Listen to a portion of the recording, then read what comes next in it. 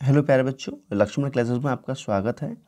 आज हम चर्चा करने वाले हैं यूपी बोर्ड टेंथ क्लास चित्रकला के पेपर के बारे में। ठीक है? तो सबसे पहले हम चर्चा किस पॉइंट पर करेंगे?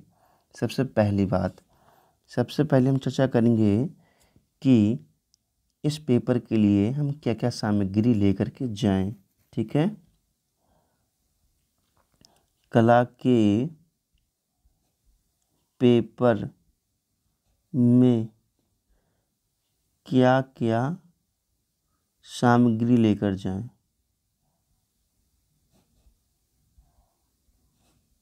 पहली चीज़, ठीक है, मोस्ट इम्पोर्टेंट है ये, क्योंकि ये बहुत लोगों को नहीं पता क्या लेकर के जाते हैं। सेकंड, कि जो इम्पोर्टेंट क्वेश्चन है कौन कौन से इम्पोर्टेंट क्वेश्चन हैं जो कि पेपर में लगातार आते हैं और आने ही हैं इस साल भी। ठीक है? मतलब इम्पोर्टेंट क्वेश्चन पर चर्चा करेंगे हम लोग। तीसरी बात तीसरी बात हम ये सीखेंगे कि रंग कैसे भरें, रंग भरना सीखेंगे, जो कि कला की जान है। जिसको रंग भरना आता है, उसको कला आती है। ठीक है? और तीसरी बात कि हम चित्रों को कैसे बनाएँ, चित्रों को कैसे बनाएँ कहने का मतलब ये है बेटा, जिसने ये वीडियो पूरी देख ली ना, उसके पेपर में सौ में से मान लीजिए छियानवे, सत्तानवे, अट्ठानवे, हो सकता है सौ में से सौ नंबर भी आ जाएँ। ठीक है अब ये मैं सोच रहा ये साइंस के टीचर हैं और ये कला का पेपर के बारे में समझा रहे हैं, इतनी बड़ी बड़ी बातें कर रहे थे नंबर कैसे आ सकते हैं? अरे भाई, मैं साइंस का टीचर ज़रूर हूँ, लेकिन मेरा जो फेवरेट सब्जेक्ट रहा है ना, वो कला ही रहा है। कला मैंने विशेष योग्यता भी हासिल की थी, अपने बचपन टाइम में मुझे बहुत सारे पुरस्कार भी मिले थे। ठीक है? और मेरे कला में भी छियानवे नंबर हैं टेंथ क्लास में। ठीक है बेटा? तो देखो, ये मिले, मिला था मोतियाल इंटर कॉलेज सेफ़ में बरेली से प्रमाण पत्र। तो उस वक्त मैं नाइन्थ क्लास में था। प्रमाणित किया जाता है कि लक्ष्मण प्रसाद पुत्र श्री भजन लाल कक्षा नौ, वर्ग ए, ने विद्यालय में आयोजित सांस्कृतिक कार्यक्रम, कला प्रतियोगिता में भाग लिए, इसके लिए इन्हें प्रथम पुरस्कार से सम्मानित किया जाता है। ठीक है बेटा? तो देखो, मैंने आपको प्रूफ भी दिखा दिया कि कला में मेरे लिए बहुत ज़्यादा इंटरेस्ट था और मेरे लिए प्रतियोगिता में बहुत ज़्यादा नंबर वन पे मैं रहता था हमेशा। ठीक है? तो कुल मिलाकर के अब देखते हैं हम लोग कि क्या क्या ले करके जाना है कला के पेपर में। वीडियो थोड़ा लंबा होने वाला है, लेकिन भाई क्या करूँ, आपके लिए नंबर तो भी दिलवाने हैं। तो थोड़ा क्या क्या लेकर जाना है, ध्यान समझना। हमारे लिए सबसे पहली बात तो ये है दो पेंसिल ले लेनी है दो पेंसिल ठीक है? और इन पेंसिलों को घर से अच्छे से छील करके कटर से ना उनके ऊपर कैप लगा करके ले करके जाए जिससे कि टूटे ना उनके जो आ, जो छिला हुआ नुकनू होता है वो टूटे ना ठीक है? कैप का के लगानी है जो तीन वाले पेन नहीं आते हैं अपने है ना? इनकी कैप कोई पड़ी हो तो दोनों पे कैप लगा के लेके जाना है पहली बात ठीक है? दूसरी बात एक कटर ले जाएँ एक ब्लेड भी ले जाएँ और एक रबड़ ले जाएँ साथ में, ज़रूर से ज़रूर। रबड़ साफ़ और नई होनी चाहिए। कटर भी नया ले लेना, ब्लेड भी नया ले लेना। अब आप कहोगे, सर, कटर ब्लेड दोनों दोनों क्यों? ऐसा तो कटर से फटाफट छिल जाता है। लेकिन जो जो, वो होता है ना नुकू जो होता है, पेंसिल का अच्छा बन नहीं पाता है तो वो ब्लेड से बना लें आप, ठीक है? और पहली बार तो घर से बना के लेके आएँ और ये भी ले करके जाएँ, ठीक है? और एक बड़ी स्केल लेकर जाएँ, बड़ी स्केल ठीक है? और एक छोटी स्केल भी साथ लेकर जाएँ और ध्यान रहे, दोनों पारदर्शी कांच के बने हों, स्टील वगैरह के लेकर के नहीं जाना है। ओके? चलो अगले बढ़ते हैं। ज़ीरो नंबर का ब्रश ले लें। चलो वहाँ पे आगे बढ़ते हैं, पहले देखते हैं। एक कैमलिन का प्रकार, एक कैमलिन का प्रकार भी खरीद लेना है आप लोगों को, ठीक है? ज़ीरो नंबर का ब्रश ले लें। ज़ीरो नंबर का ब्रश किस काम आता है? जो चित्र बना लेते हैं हम लोग ना तो आउटलाइन करने काम आता है। आउटलाइन क्या होती है? मैं अभी आपको समझाऊँगा आउटलाइन क्या होती है। ठीक है? सारी चीज़ समझाएँगे आउटलाइन क्या होती है, ज़ीरो नंबर का ब्रश का यूज़ हम कैसे करेंगे कहाँ कहाँ करेंगे, है ना? और एक नंबर का और दो नंबर का, एक और दो नंबर का ब्रश भी ले लें। ये क्यों? जैसे कि हमने मान लीजिए कमल का फूल बनाया है तो कमल का फूल और उसको, उसकी जो पत्तियाँ हैं, जो कलियाँ हैं उनको रंगने के लिए हमें एक या दो नंबर के ब्रश की आवश्यकता पड़ती है। और एक और जो दो ब्रश ले लेना, वो बड़े ले लें। चार नंबर के ले लें या फिर आठ नंबर का ले लें। ठीक है, बड़ा ब्रश ले लें। इस ब्रश की आवश्यकता क्या पड़ेगी? ये बैकग्राउंड को रंग करने के लिए, जो बैकग्राउंड होता है ना, किसी पिक्चर का, उसको रंग करने के लिए आवश्यकता पड़ेगी। ठीक है, इस पर हम चर्चा करेंगे, अभी आपको सारी चीज़ बताई जाएँगी। ओके? और जो कैमिल का वाटर कलर होता है, ठीक है बेटा? कैमिल का होता है या कैमरिन लिख दिया है, कोई बात नहीं। कैमिल का वाटर कलर ट्यूब होता है वो लेना है ठीक है? और ये कैसा होता है देखने में अभी आपको दिखाऊँगा अभी। है ना? उसके बाद में हमारे लिए एक बड़ी प्लेट लेनी है, जो कलर मिक्स करने वाली होती है, और एक पानी की बोतल साथ लेकर जानी है, क्योंकि बार बार पानी बाहर लेने के लिए नहीं जाने देंगे और आपका टम भी ख़राब होगा तो एक बोतल में पानी भी साथ लेकर के जाएँ। ठीक है बेटा? और दो छोटे छोटे चाय वाले कप ले लेना, जो या डिस्पोजल लेना, ठीक है? चाय वाले कप जो होते हैं ना, फोम वगैरह के आते हैं कॉफ़ी वफ़ी के, वो ले लेना। दो छोटे छोटे कप आप कहो, सर, कप का क्या होगा वहाँ पर? तो मैं आपको बताऊँ, आप जो बड़ी बोतल लेके जाएँगे ना, वो आप वो साइड से रख देना। और जब आप कलर करेंगे ना तो छोटे छोटे दो कपों में पानी भर लेना। तो क्या होगा, दोनों कपों में जो है, आप ब्रश को धुल सकते हैं अच्छे से। है ना? और जब ब्रश धुला होगा, साफ़ होगा, तभी तो आप पेंट अच्छा कर पाएँगे। और दो रुमाल ले रहे हैं आपके लिए। एक रुमाल किस काम आएगा? साफ़ रुमाल लेने ठीक है? एक रुमाल आएगा जैसे कि जो ब्रश होगा ना, ब्रश को आप जब धुलेंगे पानी में और उसमें फिर भी थोड़ा बहुत तुम्हें लगता है पेंट वगैरह रह गया है तो उसको साफ़ करने में, ठीक है? और दूसरा रुमाल किस काम आएगा? दूसरा रुमाल आएगा आपको जो रबड़ रबड़ से आप मिटाएँगे ना, जैसे कि लिखा हुआ कुछ भी उसको मिटाएँगे तो लिखे हुए को जो मिटा रहे हैं आप, उससे रबड़ से द्वारा गंदगी हो जाएगी। तो उस गंदगी को साफ़ करने के लिए आप या तो मुँह से फूंक मारें या आप रबड़ से उसको साफ़ करें, हाथों से ना मिटाएँ। हाथों से मिटाएँगे तो चित्र गंदा हो जाएगा। ये स्वच्छता का आपको ध्यान रखना है। है ना बेटा? एक पारदर्शी बैग है पॉलीथीन ले लें, जिसमें सारी चीज़ पैक करके लेकर के जाएँ। अब मैं आपको दिखाता हूँ कि ट्यूब कलर कैसा होगा कैमलिन का। ठीक है बेटा? कैमलिन नहीं कैमिल का। तो बेटा ये ट्यूब कलर है। ये ट्यूब कलर आपको ऐसा दिखने में होगा। ये ख़रीद लेना आप लोग। मार्केट में मिल जाएगा लगभग सौ रुपये का। मेरे समय में तो ये मिलता था पैंसठ रुपये का मिलता था मेरे समय में, है ना? अब जिस शायद सौ रुपये का आता होगा। तो ये हाँ कैमिल या कैमलिन, देखो लिखा तो नीचे बेटा, कैमलिन भी लिखा है देखो ये। ये ये देखो कैमलिन, ठीक है? तो ये खरीद लेना आप इसके अंदर ऐसे ट्यूब कलर होंगे, ये बारह कलर होंगे लगभग। ठीक है बेटा? तो चलो पढ़ते हैं आगे। ये स्टेप से होगा देखने में, है ना? और कितना प्यारा लग रहा है ना, ट्यूब कलर। ऐसा भी हो सकता है, ठीक है? देखो, ऐसा भी हो सकता है देखने में और ऐसा भी हो सकता है, दोनों ओरिजिनल ही। हैं मेरे समय पे मेरे पास तो ये वाला था, है ना? ये भी अच्छा है, वो ये दोनों एक ही हैं, ये कलर थोड़े अलग हैं। और देखो, इस पर जो है रेट भी पड़े होंगे। देखो, इस पर सौ रुपये रेट पड़े हुए हैं। लेकिन ये पैंसठ रुपये का मिला था हमें। ठीक है, आप देख लेना कितने का मिलेगा बेटा। है ना? चलो, देख, अगले बढ़ते हैं। देखो, ये कलर रहे आपके, ठीक है? अच्छा अब देखते हैं कि मोस्ट इम्पोर्टेंट क्वेश्चन क्या है, कि हंड्रेड परसेंट आने ही आने हैं।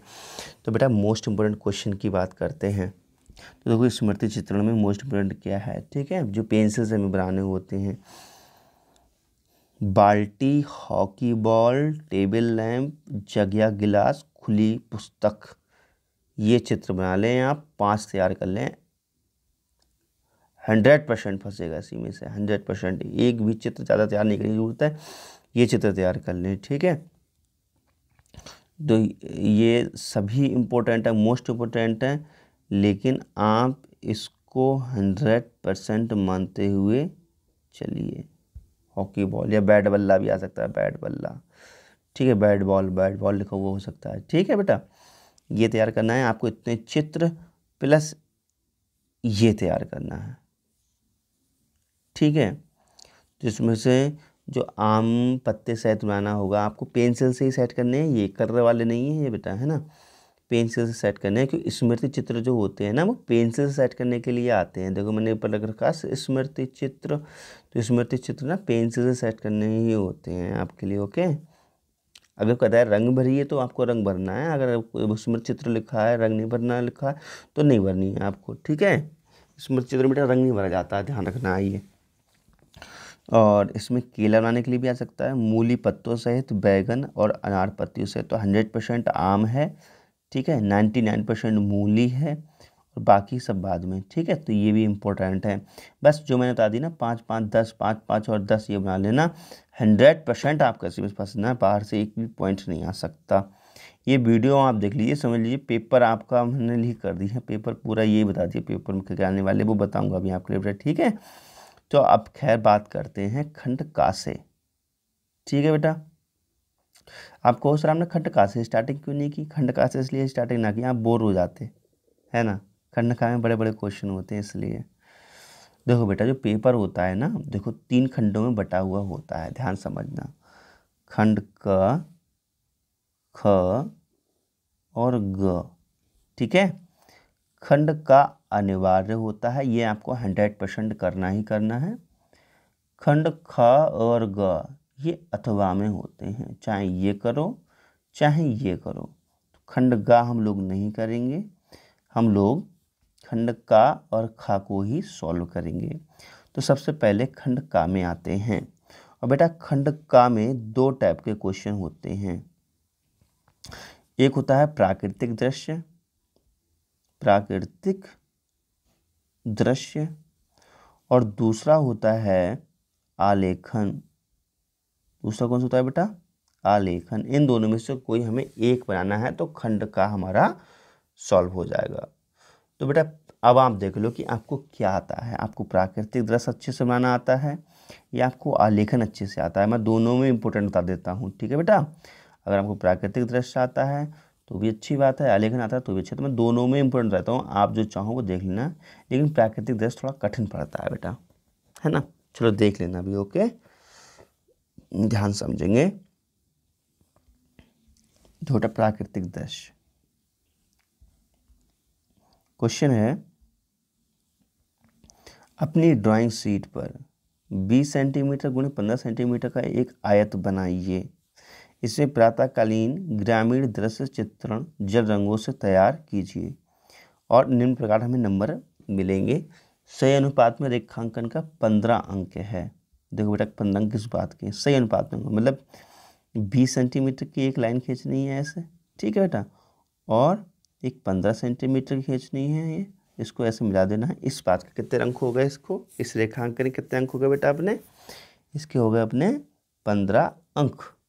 क्लियर उसके बाद इसमें प्रातःकालीन ग्रामीण दृश्य का चित्रण जल रंगों से तैयार कीजिए।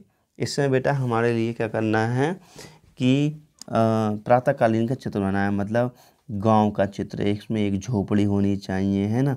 एक झोपड़ी हो पेड़ पौधे हों, सूरज उगता हो, है ना? इस टाइप से नदी हो, इस टाइप से हमें कोई प्राकृतिक दृश्य बनाना है है ना? और सही प्रकार से हम संयोजन करेंगे, बहुत निम्न चीज़ों को मिलाएँगे तो इसके होंगे साढ़े सात नंबर। और रंग भी भरेंगे तो उसके पंद्रह अंक मिलेंगे रंग भरने के। और जो बनने के बाद जो अट्रैक्शन होगा, जो दिखाई देगा, बहुत प्रभावशाली होगा, उसके साढ़े सात नंबर तो इस प्रकार ये हमारे लिए अंक मिलेंगे, ठीक है? तो तो चित्र में बेटा ये ना प्राकृतिक, जी प्राकृतिक कला में हर साल ये ही आता है, हर साल ये ही आता है। अपनी ड्राइंग शीट पर बीस गुणे पंद्रह सेंटीमीटर का एक आयत बनाइए और इसमें प्रातःकालीन ग्रामीण दृश्य का चित्रण कीजिए। तो देखो बेटा, ध्यान से समझिए बात को। देखो, यहाँ पर बीस गुणे पंद्रह के जगह यहाँ पर बीस गुणे पच्चीस भी हो सकता है। है ना? तो यहाँ पर इस चीज़ से टेंशन नहीं लेनी है आपको। तो आप पटरी से नाप करके कर ही देंगे। और यहाँ पर जो लिखा है ना कि प्रातःकालीन ग्रामीण दृश्य का चित्र बनाइए। तो यहाँ प्रातःकालीन ये लिखा होता है, सायकालीन भी हो सकता है। सायकालीन सायकालीन मतलब शाम के समय का। तो एक बात ध्यान रखने योग्य है, प्रातःकालीन में भी सूर्य उगता है, लाल कलर का होता है, और सायकालीन में भी सूर्य छुपता है और लाल कलर का होता है, अर्थात चित्र एक ही बनेगा। ओके? चलो देखते हैं, इसको अगर सायकालीन के रूप में आता है तो कैसे आता है, और यही आता है, हंड्रेड परसेंट। हर साल हर साल यही आता है आपका। और चित्र ये कैसे बनाना है कर कैसे करना है, उसकी ज़िम्मेदारी मेरे ऊपर छोड़ दो। इस वीडियो के लास्ट तक मैं आपको ट्रेंड कर दूँगा, गारंटी इस बात की। ठीक है? पूरी साल टंग नहीं पड़ी, कोई बात नहीं। मेरे साथ है ना आप, और जब हम हैं तो आपको कोई टेंशन लेनी नहीं बेटा, ठीक है? बस वीडियो लास्ट तक देखो, आपको बताया जाएगा आपको कैसे बनाना है उसको। तो ये क्वेश्चन इस टाइप से भी आ सकता है। देखो अपनी ड्राइंग सीट पर 25 सेंटीमीटर गुणे बीस सेंटीमीटर का एक आयत बनाइए। ठीक है बेटा? इसमें संध्याकालीन ग्रामीण दृश्य का चित्र जल रंगों से तैयार कीजिए। देखो मैंने कहा संध्याकालीन भी लिख करके आ सकता है। ओके? और ये भी चीज़ यहाँ पे देखो, ये चेंज हो सकता है तो ये भी देखो चेंज है। ठीक है बेटा? देखो वही सब कुछ लिखा हुआ है। अब हम देखें कि चित्र चित्र कैसे वो मिलेगा? ठीक है बेटा तो चित्र देखो, मैं आपको बताऊँ दो, प्रातःकालीन का। प्रातःकालीन का ये रहा चित्र। देखो, इसमें क्या चीज़ बनानी है? हमारे लिए ग्रामीण चित्र में देखो तो बेटा पेड़ पौधे बनाने हैं, घर बनाने हैं, है ना? और एक सड़क बनानी है है ना? तो ये ये तालाब हो गया है, एक, ठीक? और आपके लिए उगता हुआ सूरज दिखाना है। तो चाहो तो पीछे पहाड़ियाँ दिखा सकते हो ये परिंदे उड़ते हुए हैं है ना? अब बात ये आती है कि सर आप अच्छा बता रहे हैं ये बनाने पुराना बनेगा कैसे? कलर कैसे भरे जाएँगे? ये तो कठिन बातें हैं ये सोचते होगे ना? अरे चिंता क्यों करते हो? आ, ये वीडियो ये कलर कैसे भरते हैं सब कुछ? इसकी ना एक स्पेशल वीडियो की प्लेलिस्ट पहले जो डिस्क्रिप्शन बॉक्स होता है ना डिस्क्रिप्शन बॉक्स में मैं लिंक दे दूँगा, वो देख लेना, आप हंड्रेड परसेंट बनाना सीख जाएँगे ये। ठीक है डिस्क्रिप्शन बॉक्स देख लेना, मैं डाल दूँगा कि ये जो है प्रातःकालीन का दृश्य कैसे बनाते हैं और यही चित्र जो बना हुआ है ना यही चित्र यही चित्र एक यूट्यूब चैनल है ड्राइंग नाइन्टी नाइन ठीक है बेटा, उन्होंने बनाना सिखाया है, ये लिखा भी है तो ड्राइंग नाइन्टी नाइन ऊपर, ठीक है, कोने पे। तो मैं इनका लिंक दे दूँगा आपके लिए, आप वहाँ से आकर इसको देख लेना ओके अब, अभी हम बताएँगे आपको कलर कैसे करते हैं, ये हम आपको बताएँगे। बेटा ठीक है अब देखते हैं आलेखन। देखो, खंड का को सॉल्व करने के लिए आपको एक क्वेश्चन प्राकृतिक दृश्य का होगा। अगर आप प्राकृतिक दृश्य समझ में नहीं आ रहा है, करने का मन नहीं कर रहा है तो आप इसको छोड़ दीजिए, बिल्कुल। अब आ जाइए अब आलेखन पर। अर्थवा में बेटा आलेखन दिया हुआ वो नहीं आता तो आलेखन सॉल्व कर लो आप लोग, है ना? तो बेटा आलेखन में आपको बता रहा हूँ क्या आता है। हंड्रेड परसेंट कमल का फूल पत्तियों सहित बनाने के लिए आता है हर साल। रट्टा मान लेना, इस साल भी यही आना है। कमल का फूल पत्तियों सहित। ठीक है, चाहे व्रत के अंदर बनाने के लिए आ जाए, चाहे अर्धव्रत के लिए आ जाए, चाहे वर्ग के अंदर आ जाए, चाहे आयत के अंदर आ जाए, चाहे त्रिभुज के अंदर आ जाए, आएगा कमल का फूल ही। किसी, चाहे ये लेके आ जाए कि राष्ट्रीय पुष्प बनाइए कोई भी राष्ट्रीय पुष्प बनाइए या कोई भारतीय पुष्प बनाइए तो भी कमल का फूल ही आएगा उसके अंतर्गत। ठीक है तो कमल का फूल पत्तियों से तैयार कर लें। और तितली बनाना सीख लें, एक आध उड़ती हुई, है ना? तो एक बदक बनाना भी सीख लें, ऐसे भी आ सकता है। बदक सहित कमल का फूल बनाइए, मछली सहित आज बनाइए, है ना? कमल का फूल आना ही आना, बस ये ध्यान रखेंगे आप लोग। तो देखते हैं कुछ क्वेश्चन के रूप में कैसे आ सकता है। बेटा देखो बेटा। देखो, एक वर्ग की रचना कीजिए। ठीक है तो वर्ग भी हो सकता है, व्रत भी हो सकता है, अर्धव्रत भी हो सकता है, त्रिभुज भी हो सकता है। किसी के अंदर भी आ सकता है कमल का फूल बनाने के लिए, ठीक है? एक वर्ग की रचना कीजिए जिसकी भुजा सोलह सेंटीमीटर है। इसमें फर्श के मध्य भाग के लिए गुलाब अथवा कमल के पुष्प अथवा गुड़हल के पुष्प पत्तियों कलियों एवं तितली की सहायता से एक सुंदर आलेखन की रचना कीजिए। आलेखन में किन्हीं तीन अंगों का प्रयोग कीजिए। ठीक है बेटा? ये क्वेश्चन इस टाइप से आ सकता है। तो बेटा यहाँ पर देखेंगे इस क्वेश्चन में एक वर्ग भी हो सकता है, आयत भी हो सकता है व्रत भी हो सकता है अर्धव्रत भी हो सकता है, त्रिभुज भी हो सकता है मतलब कुछ भी हो सकता है, उसके अंदर हमारे लिए एक आलेख बनाने के लिए आएगा, कमल का फूल पत्तियों सहित। ठीक है, और किसी क्वेश्चन में ये हो सकता है कि तितली भी बनाइए, तितली सहित भी हो सकता है, बेटा, ठीक है? तो इसकी आप तैयारी रखें अच्छे से। और कैसे बनेगा, मैं सिखाऊँगा, अब चिंता नहीं करनी है, क्वेश्चन देख लो पहले। कुल मिलाकर चाहें वर्ग हो या आयत हो या व्रत हो या अर्धव्रत हो उसमें कमल गुड़हल पुष्प इस तरह बनाना है कमल या गुड़हल का पुष्प इस तरह बनाना है जिससे कि वो वर्ग या आयत या व्रत जो भी है वो पूरी तरह भरा हुआ दिखाई दे। है ना? अब ये समझ ये क्वेश्चन आता है कि सर भरा हुआ दिखाई दे कुछ समझ में नहीं आया। भरा हुआ दिखाई देगा क्या मतलब है? बात ये है ना बेटा कि आ, कि अगर ना कुछ खाली जगह बच जाती है, जैसे कि मान लीजिए उदाहरण की बात करूँ, मान लीजिए आप त्रिभुज में बना रहे हैं कमल का फूल, आपने कमल का फूल बनाया ये, है ना ये, और आपने यू कर दिया, और यू कर दिया तो खाली जगह तो ये बचेगी तो आप इसमें क्या काम है इसमें कली बना दें ऐसे करके, ऐसे, और खाली जगह ये बचेगी तो आप इसमें भी कली कली बना दें, इसमें भी कली बना दें, ठीक है? कहने मतलब ये पूरा भर दें तो चित्र वो आकर्षित तो अच्छा माना जाता है। ठीक है? तो ये क्वेश्चन देखो ऐसे भी लिखा हुआ आ सकता है, देखो बेटा दूसरे तरीके से सोलह सेंटीमीटर ब्यास, सोलह सेंटीमीटर ब्यास का मतलब होता है आठ सेंटीमीटर त्रिज्या सोलह सेंटीमीटर कितना भी सेंटीमीटर ब्यास हो उसकी इच्छा हो क्वेश्चन वाले की, ठीक है? सोलह सेंटीमीटर ब्यास के एक व्रत में पूर्ण इकाई वाले मौलिक आलंकारिक आलेखन बनाइए। उसे किसी भारतीय पुष्प, उसकी पत्तियों एवं कलियों से अलंकृत कीजिए।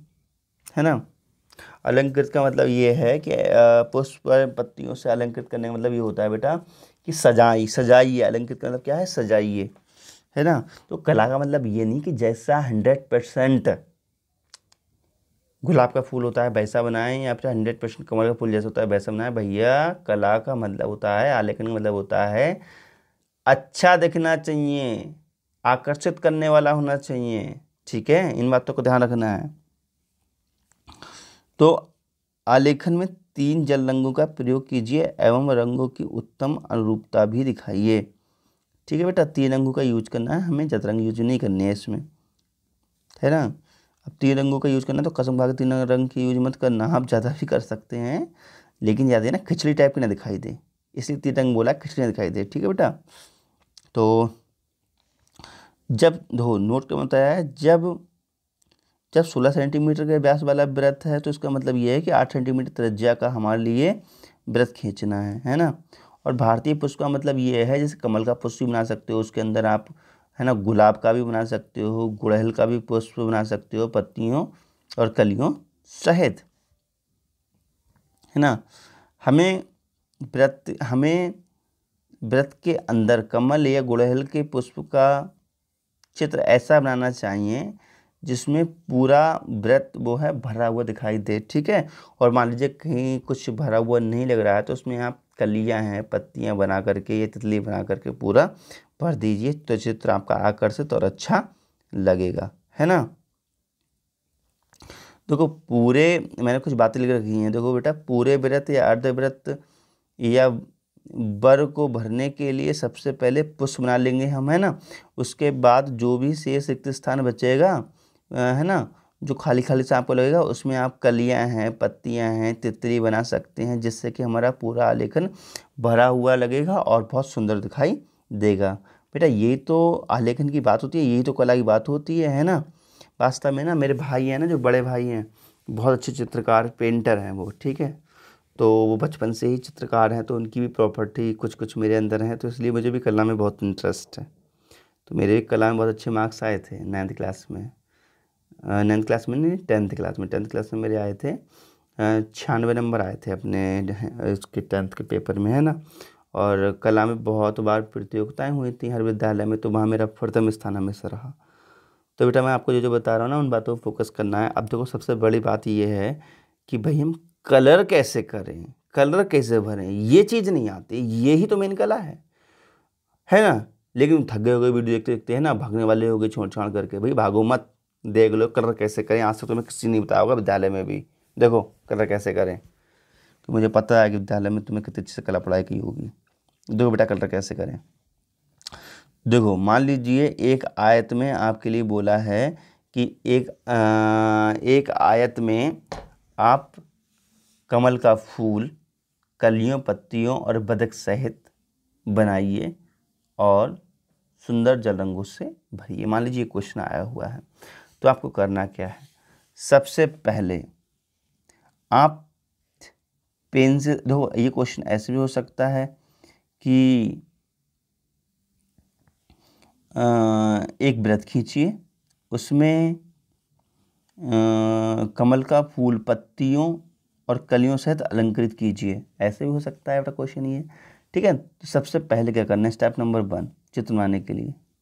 चित्र तो बना हुआ कलर करने के लिए। बेटा कलर करने के लिए सबसे बड़े आप जो मैंने कहा था ना, आप बड़ा वाला ब्रश लेंगे। बड़ा वाला ब्रश, बड़ा वाला ब्रश है चार या आठ नंबर का ब्रश, ठीक है? तो उससे क्या है, आप पीला कलर लेंगे और पीला कलर लेकर के जो आप पूरे चित्र पे पेंट कर देंगे, पीले कलर का, ठीक है? कैमल का ट्यूब कलर लेंगे, उसमें थोड़ा सा पानी मिला करके पूरे चित्र पे पेंट कर देंगे इस टाइप से। पूरे चित्र पे पेंट कर देंगे इस टाइप से, बेटा पीले कलर से करके और कोशिश ये करेंगे जहाँ जहाँ हमने पत्तियाँ बना ली हैं इसको छोड़ दें और उसके ऊपर चढ़ भी जाएगा पीला कलर तो भी कोई दिक्कत नहीं है, ऐसे पेंट कर दें सबसे पहले पीले कलर का पूरे चित्र पे, ठीक है? पत्ती को छोड़ने की कोशिश करें और पत्ती को ऊपर चढ़ जाए तो भी कोई टेंशन की वाली बात नहीं है क्योंकि पीले कलर के ऊपर सारे कलर चढ़ जाते हैं। ठीक है बेटा, इस स्टेप से आप पूरा इसको बाष्पित कर दें और पीछे का बैकग्राउंड क्लियर कर दें इतना, ठीक है बेटा? पीले कलर से। लेकिन आप उल्टा करते हैं। आप क्या करते हैं कि ब्रश से सबसे पहले पत्ती बनाएँगे कमल का, कमल को भरेंगे। ऐसा नहीं करना सबसे पहले आप पीला कलर पूरे में घुमा लीजिए। ठीक है बेटा? उसके बाद सुखाइए थोड़ा सा जब थोड़ा सूख जाता है, फिर आप लीजिए अपना गुलाबी कलर। है ना बेटा? और गुलाबी कलर कैसे बनाएँगे आप? तो गुलाबी कलर बनाने के लिए मैं आपको बता रहा हूँ, कैसे बनाना है। देखो, गुलाबी कलर के लिए। आपको जो ट्यूब कलर मिल रहा है, गुलाबी कलर बना बनाया आता है। और नहीं आता हो तो मैं सब बता देता हूँ ट्यूब कलर तो आपके पास लेंगे ही लेंगे तो मैं बता देता हूँ ट्यूब कलर देख के ही, है ना? तो बेटा देखो, आपके पास ये ट्यूब कलर है। एक मिनट, कहाँ गए tube colour tube colour tube colour tube colour देखो, ये कलर्स हैं आपके पास, ठीक है बेटा? तो देखो आपका काम करना है। लाल लेना है, लाल लाल कौन सा? ये वाला ले लियो बेटा, ठीक है? लाल कलर प्लस सफ़ेद। सफ़ेद रंग लेना है, ठीक है? पूरा पूरा पचास पचास परसेंट ले लेना तो ना, लाल थोड़ा ज़्यादा, लाल साठ परसेंट लेना, सफ़ेद चालीस परसेंट लेना और हल्का सा पीला, बहुत हल्का सा पीला रंग लेना, बहुत ना के बराबर, ठीक है? एक दो परसेंट। मिला लेना, गुलाबी कलर दिखाई देगा, बहुत सुंदर गुलाबी कलर बन जाएगा, ये तीन कलर मिला करके, ठीक है? तो मैंने आपको बता दिया, गुलाबी कलर के लिए क्या क्या चीज़ मिलानी है। देखो बेटा, मैं आपके लिए बता रहा था, अभी कलर के बारे में ध्यान समझेंगे। देखो, आपको गुलाबी कलर बनाने के लिए क्या करके लेना है आपके लिए? लाल लाल कलर लेना है, प्लस सफ़ेद, प्लस हल्का सा हल्का सा, ना के बराबर, पीला मिला लेंगे तो आपको बहुत अच्छा गुलाबी कलर प्राप्त हो जाएगा, ठीक है? तो गुलाबी कलर आप कर देंगे, उसके बाद आप इसकी कलियों को भी गुलाबी कलर से कर देंगे। समझ में आया बेटा इतना? उसके बाद अपना जो ब्रश है, आपके पास जो कप रखे होंगे पानी वाले, उनमें धुल लेने हैं। ब्रश मानिए ये कप है तो इसमें ब्रश को धुल लेना है, साफ़ कर लेना है। ठीक है, फिर दूसरा कप होगा, दोबारा धुल लेना है तो ब्रश हंड्रेड परसेंट साफ़ हो जाएगा, अब इसको रुमाल से पहुँच करके साइड कर देना है।